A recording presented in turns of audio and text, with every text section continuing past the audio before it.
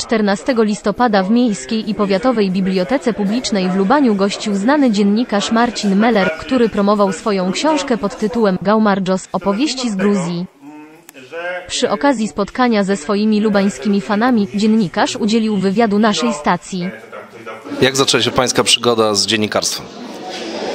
W szkole. W, robiłem gazetkę szkolną w czasach przedkomputerowych, czyli w gablocie e, szkolnej, gdzie przepisywałem teksty na maszynie, wieszałem szpilkami, przyczepiałem. To był pierwszy krok, potem, e, potem na studiach, to jeszcze za tamtego systemu, więc w nielegalnej gazecie Niezależnego Zrzeszenia Studentów, która u mnie w piwnicy była składana i robiona.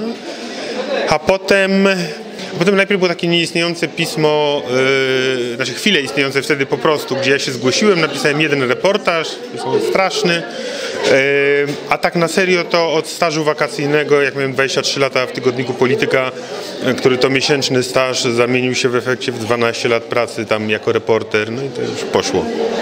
Y, Drugie śniadanie mistrzów w TVN-ie y, to jest pański y, autorski program? Tak, znaczy to drugie śniadanie wymyśliłem z moim kumplem Remikiem Maścianicą, który, z którym pracowałem Dzień Dobry TVN. On tworzył Dzień Dobry TVN od podstaw. No i wymyśliliśmy ten już 11 lat temu pomysł na tego typu program.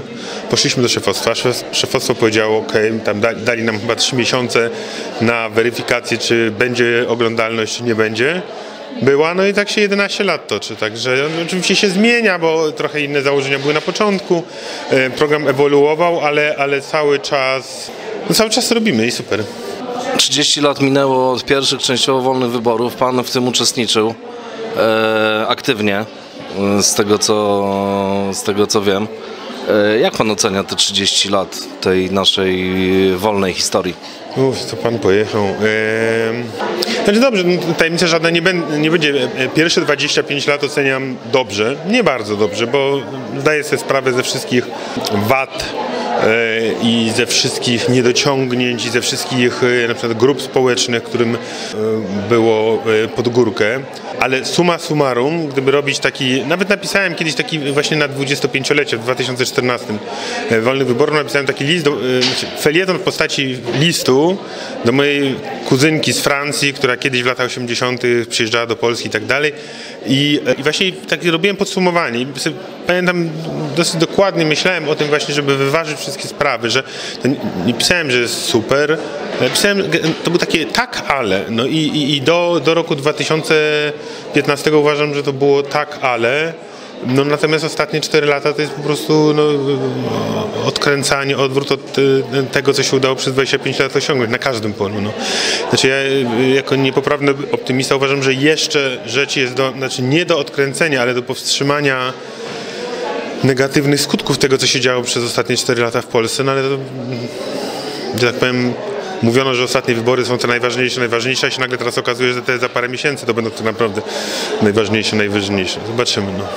No jest pan pisarzem, odnosi pan sukces na tym polu. Jak to się stało, że pan pisarzem został? Znaczy nie, ja, ja, ja, pisarzem nie jestem. Jak ja słyszę hasło, nie, ja, ja, ja piszę feliet, jestem dziennikarzem, piszę felietony wydaję książki, yy, czy nawet piszę książki, ale pisarzem coś nie czuję. Pisarzem to jest, nie wiem, Andrzej Stasiu, kolega Tokarczuk albo moja żona. No.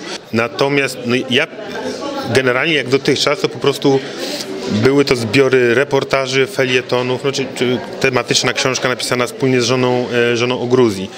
Więc zaczęło się pisanie, w moim przypadku od pisania drobnych form, znaczy e, na samym początku były reportaże.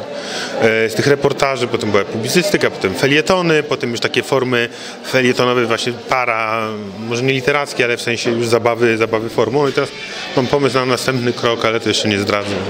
Być może w przyszłym roku. Pozdrawiam serdecznie telewizów telewizji Lubań. Wszystkiego dobrego listopadowe popołudnia ciemne.